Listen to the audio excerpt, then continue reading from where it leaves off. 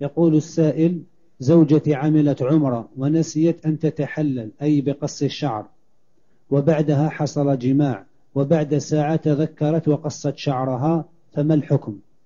إذا كان حصل الجماع قبل القص فعليها الفدية.